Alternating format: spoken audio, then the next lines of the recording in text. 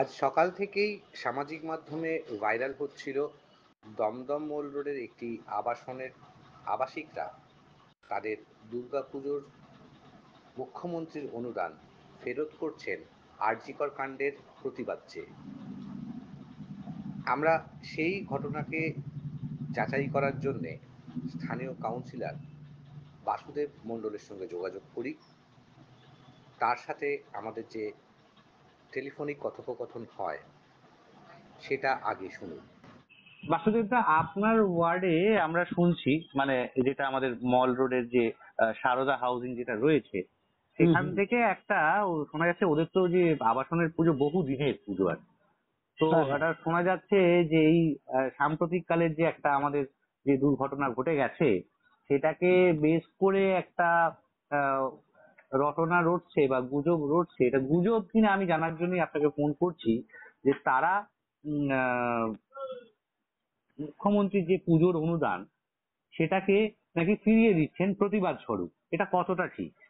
এটা সম্পূর্ণ গুজব খবর কারণ আজকে সকালবেলা ওই সারদা হাউজিং কমপ্লেক্সের পূজা কমিটির এবারের যিনি ট্রেজারার হুম। ভদ্রমহিলা আমাকে ফোন করেছিলেন যে আমি কি বাসুদেব মন্ডলের সাথে কথা বলছি? আমাদের কাউন্সিলর আমি বললাম হ্যাঁ বলছি। বলল দাদা আমরা খুব বিপদে পড়েছি। আমি বললাম কি বলুন? বলল এবারে আমার আমাদের একটা খবর রটে গেছে আমাদের সারদা হাউজিং কমপ্লেক্সের পূজা কমিটি নাকি মুখ্যমন্ত্রীর আহ, অনুদান বাবদ যে পঁচাশি হাজার টাকা সেটা নেবে না। আমরা প্রতিবাদ স্বরূপ আরজিকরের ইনসিডেন্টের প্রতিবাদ স্বরূপ আমরা এই টাকাটা নেব না।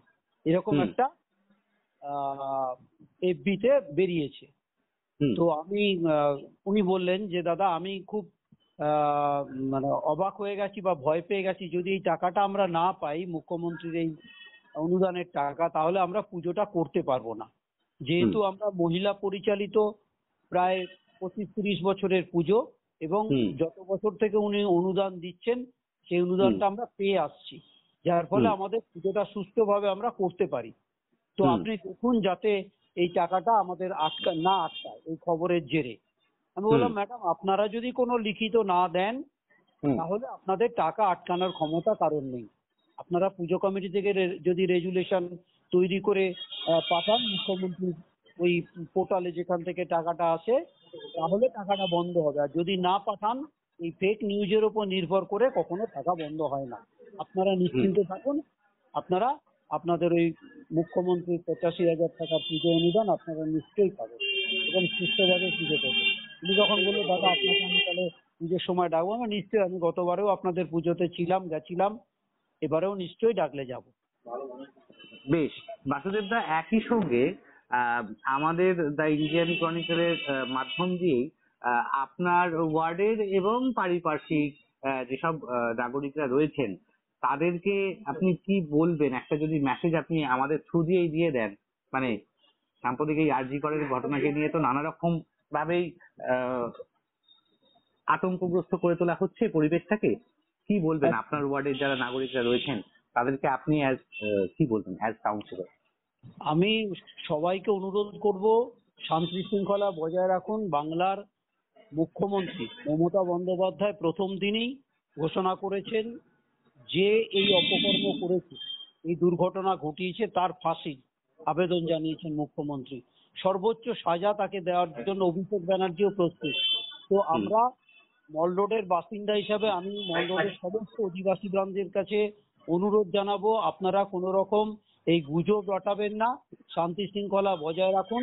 আপনাদের অতন্ত্র প্রহরী বাংলার মুখ্যমন্ত্রী মমতা বন্দ্যোপাধ্যায় আপনাদের পাশে আছে। আমরা তৃণমূল কংগ্রেস কর্মীরা আপনাদের সাথে আছি। ভয় পাওয়ার কিছু নেই। বেশ আমরা যত তাড়াতাড়ি সম্ভব এই সংবাদ প্রচার করছি এবং আপনার কাছে লিঙ্ক চলে যাবে। আপনি একটু এরপরেই আমরা যোগাযোগ করেছিলাম জয়িতা ভট্টাচার্য যিনি মল রোডের ওই কমপ্লেক্স বা সারদা কমপ্লেক্স যে নামটি পাওয়া যাচ্ছে তার সেই পুজো কমিটির একজন সদস্য যিনি আমাদেরকে জানালেন এই ঘটনাটি ঠিক কতখানি সত্য না মিথ্যা? শুনুন তার বক্তব্য। জয়িতাদি আমরা শুনতে পাচ্ছিলাম সকাল থেকেই ভীষণ রকম ভাবে ভাইরাল করা হচ্ছিল সোশ্যাল মিডিয়াতে হ্যাঁ যে হ্যাঁ। আমাদের দমদম মল রোডের যে সারদা হাউজিং এর বহু বছরের পুজো মহিলা সদস্য দ্বারা পরিচালিত সেটি নাকি আরজিকর কাণ্ডের সঙ্গে জড়িয়ে দিয়ে প্রতিবাদ স্বরূপ আপনারা মুখ্যমন্ত্রীর অনুদান ফিরিয়ে দিচ্ছেন এবং এবারে সেই প্রতিদান নেবেন না বিচার চাইছেন। এটা কি হ্যাঁ। কতটা সত্য? এটা একদমই সত্য নয়। এটা আমাদের এদের এটার সঙ্গে আমাদের পুজো কমিটির লোকেরা কেউ জড়িত নয়, আমাদের হাউজিং এর লোকেরাও কেউ।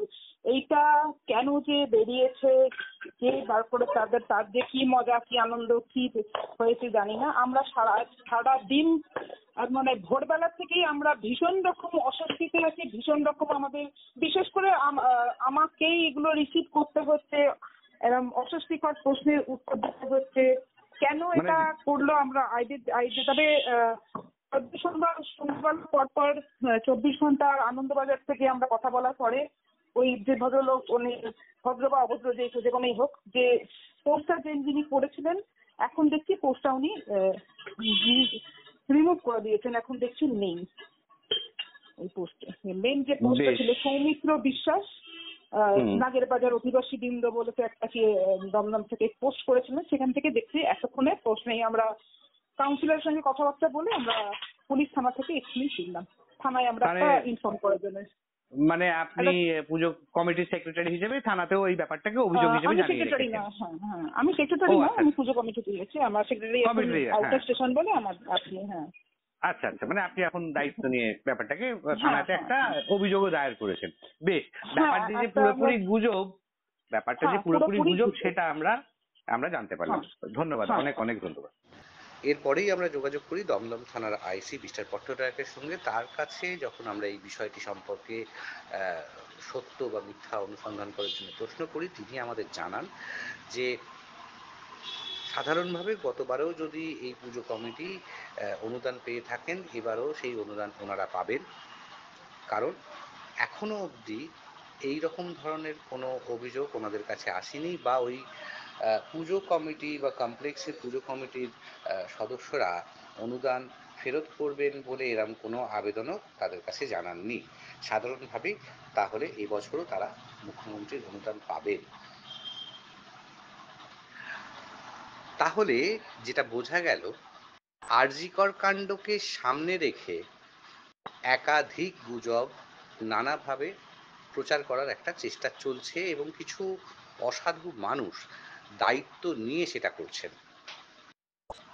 যাতে আমাদের কলকাতার পরিবেশ বা বাংলার পরিবেশকে বিপদে ফেলা যায়। বিপদে ফেলা যায় সমস্ত নাগরিকদেরকে। আমরা তাকিয়ে থাকব এই বিষয়টাতেই প্রশাসনের দিকে আপনাদের সঙ্গেই আগামী দিনে এটা নিয়ে কতদূর কি হয় সেটা দেখার জন্যে। দ্য ইন্ডিয়ান ক্রনিকলস থেকে অনিন্দ রায়, কলকাতা।